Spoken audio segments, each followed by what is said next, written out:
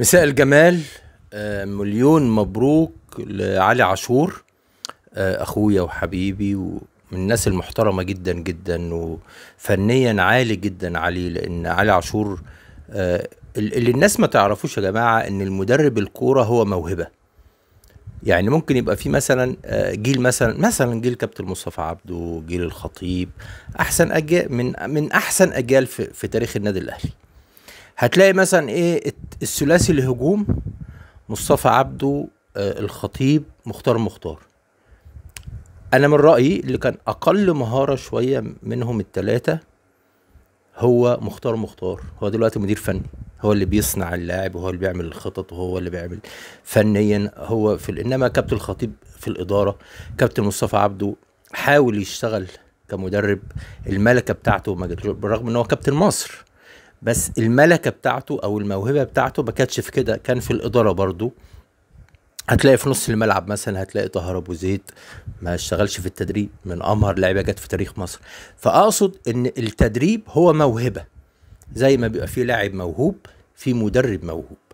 مش المدرب مثلا مسك آه، مانويل خوزيه حد كان يعرفه خالص ولا مسك خد بطولة في حتة ولا حاجة جه النادي الأهلي خد بطولات الدنيا كلها عشان مدرب موهوب اللعيبة حبته أول حاجة بعد كده قدر ياخد معاها صدقوه فقدر ينفذوا كلامه فقدر ياخد معاهم بطولات. هل مانويل خوزيه لما كان في البرتغال أول ما قال بسم الله الرحمن الرحيم تدريب لو حد قال له أنت هيجي يوم تروح مصر وتمرن نادي اسمه النادي الأهلي وهتاخد معاه بطولات كان ضحك.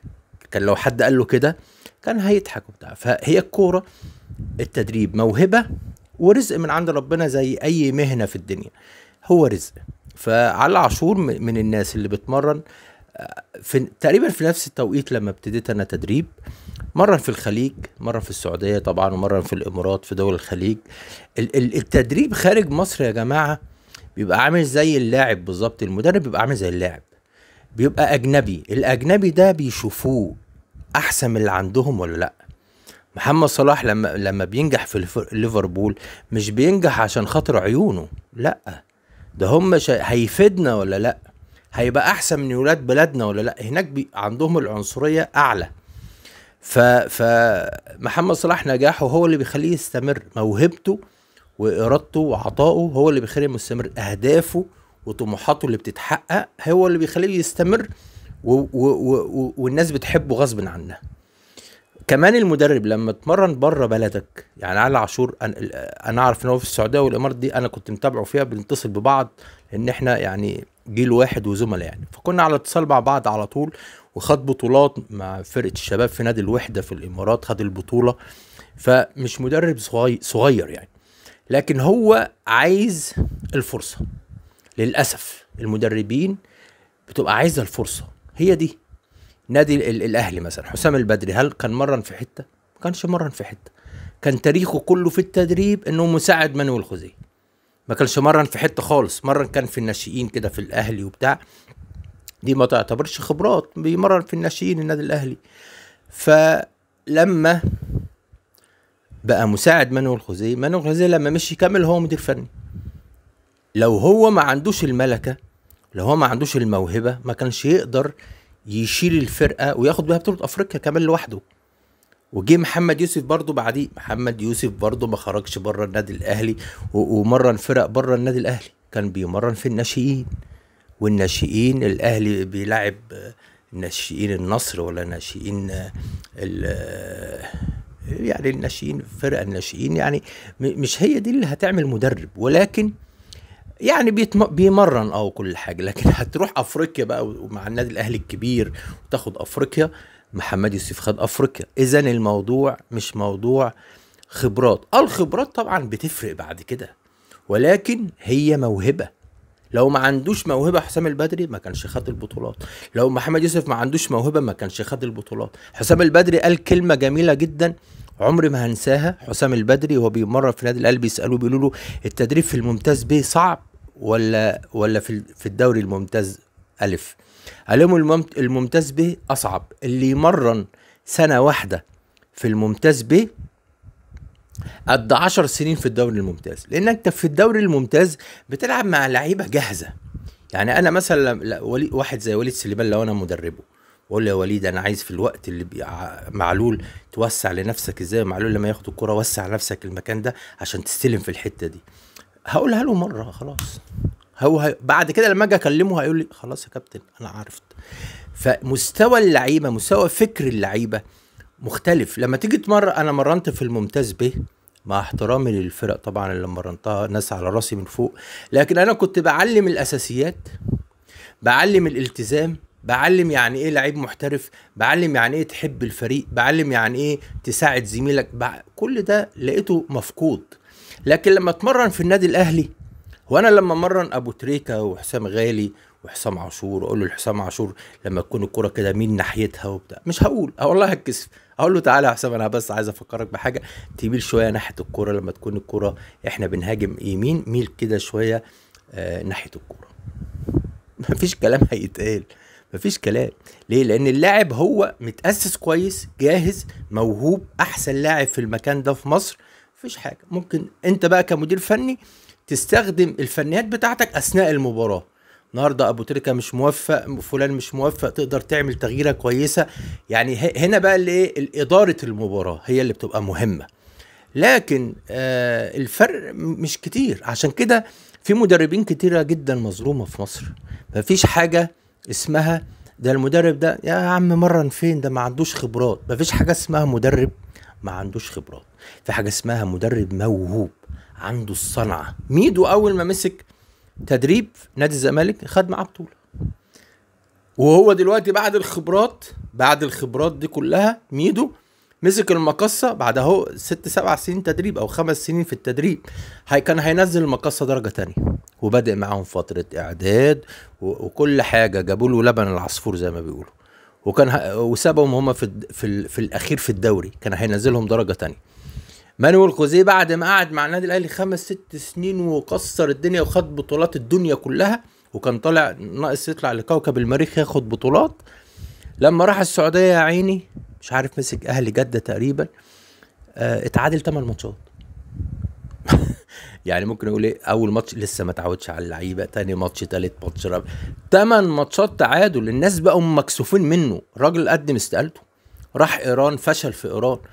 ده أنت ابتديت مع الأهلي بدون خبرات خدت بطولات الدنيا كلها.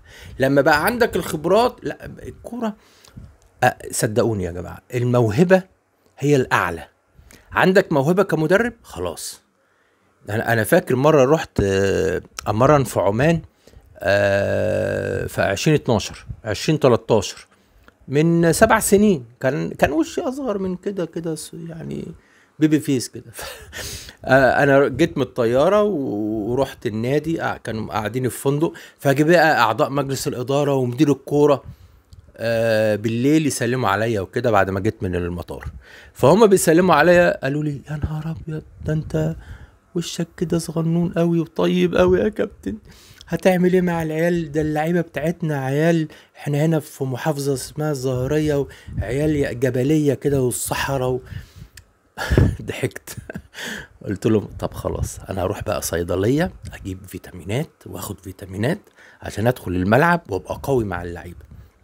قلت لهم المدرب موهبة. قلت لهم أنت بكرة في التدريب هتتفرجوا على التدريب. لما تعمل الدرهم كده الفض ده هتسمع الرنة بتاعته. المدرب يبقى شخصيته كده. مفيش مدرب مثلا يبتدي كيك يعني ني كده والعيال تهب فيه وبتاع وبعد سنتين ثلاثة هيبقى شخصية. لا من الأول من البداية. زي جوارديولا. أول ما قال بسم الله الرحمن الرحيم وطلعوه من من من الفريق الرديف الدرجة اللي تحت لما طلع يمرن برشلونة خد معاهم كل بطولات الدنيا. خد الدوري والكاس والسوبر وبطولة أوروبا Champions League خد كل البطولات. خد ست بطولات في أول مرة. زين الدين زيدان لما طلع من من ال 20 سنة وريال مدريد كانت شايلة الطين والفرق الكبيرة لما بتستغنى عن المدرب بتاعها بيبقى بعد ضالين. ليه؟ لأنهم عندهم سيستم وعندهم نظام إن هم يصبروا على المدرب. فلما ريال مدريد مشى المدرب وطلع زين الدين زيدان خد معاهم الدوري وخد بطولة أوروبا. وهو مدير فني فين؟ في ال 21 سنة. ما كانش عنده بقى خبرات في التدريب. يبقى اذا التدريب عبارة عن موهبة. رقم واحد. لاعب الكورة موهبة زي ميسي. ميسي اللي مخليه عايش دلوقتي وبياخد الكورة ال- ال- الذهبية وبياخد هو وكريستيانو رونالدو مش الخبرات اللي في الملعب. الموهبة رقم واحد ثم الموهبة ثم الموهبة. بعد كده بي بي بيحافظ بقى على نفسه بيلتزم حاجات كتيرة. لكن رقم واحد هي الموهبة. فاللي أنا بقوله إن آه، هو إيه اللي مخليهم دلوقتي داخلين 34 سنة كريستيانو وميسي وبيلعبوا لغاية دلوقتي وهدافين الدنيا وأحسن لعيبة في الدنيا. الموهبة هي اللي هي اللي مخليهم عايشة لغاية دلوقتي. لأن لياقتهم قلت. هم بدنيا قلوا. ميسي وكريستيانو ما- بقوش يجروا زي الأول ما بقوش في القوه الجسمانية بتاعت الأول. بس اللي معيشينهم لغاية دلوقتي هي إيه؟ الموهبة اللي عندهم. فالمدير الفني وال ال- اللاعب هو عبارة عن موهبة. فيا جماعة ال- المدرب بيبقى محتاج فرصة. فالنهاردة على عاشور آه، ربنا يحفظه يا رب إن شاء الله. مفيش حاجة اسمها يقول يا ده أول بقى مرة. لأ هو بيمرن بقاله عشر سنين مرن في الممتاز ب ومرن في الدرجة الأولى ومرن في السعودية ومرن في الإمارات. كل دي بموهبته. أنا مش عايز أقول لكم لما بنروح نادي بنمرن إحنا أولاد المقاولين آه، أنا مثلا ابن المقاولين مش ابن الاهلي والزمالك. فلما أروح مكان يقول لك لما نشوف بقى مصطفى صادق ده مدرب عامل إزاي. لما ي- يتكلموا اللعيبة يقولوا لهم ها الراجل ده عامل إيه معاكم مجلس الإدارة بيطمن على المدرب. فاللعيبة تقول لهم لا ده أحسن مدرب دربنا ومش عارف. فاحنا متواجدين في التدريب علشان أنت موهوب مش عشان ابن الأهلي ولا ابن زمالك. ال- علي عاشور كذلك من المدربين المحترمين. وياما أنا كنت أقعد في أماكن كده ألاقي يقولوا ده علي عاشور ده مدرب عالي قوي أقول لهم ما شاء الله. فحتى لما بقابل علي أقول له علي ما فيش مكان بقعد فيه اللي الناس بتذكرك بالخير أنت مدرب عالي قوي فالنهاردة لما اتفرجت على ماتش المقصه والمقاولين وشفت علي عاشور هو اللي قائد ال- الماتش هو أفضل من المقاولين والشوط الثاني كله هو ال- اللي مسيطر على المباراة برغم محمد إبراهيم ما كانش في مستواه النهارده. لكن ال- ال- ع- علي عاشور موقف اللعيبة صح راكب الماتش صح هادي جدا واللعيبة هادية جدا وقدر يكسب. مش عشان كسب بقول عليه مدرب كويس عشان هو موهوب ومدرب كويس فعلا. آه طولت. آه اعمل لايك واشتركوا زي اللي أنا في نقطة مهمة عايز أقولها. زي بالظبط اللعيبة. مين أكتر لعيبة سمعت في أوروبا؟ سمع محمد صلاح من أبناء المقاولين. مش يعني مش مش بقى لعب في الأهلي والزمالك وخد خبرات عشان كده بقى اتألق بره. لا هو الموهبة مهمة جدا. هتلاقي النني من المقاولين آه عمرو زكي والمحمدي من من ناشئين إنبي تأسسوا في إنبي آه المحمدي وعمرو زكي متأسسين من ناشئين إنبي. ف ف حاجات كتيرة و نعمل لايك واشترك في القناة لو مش مشترك.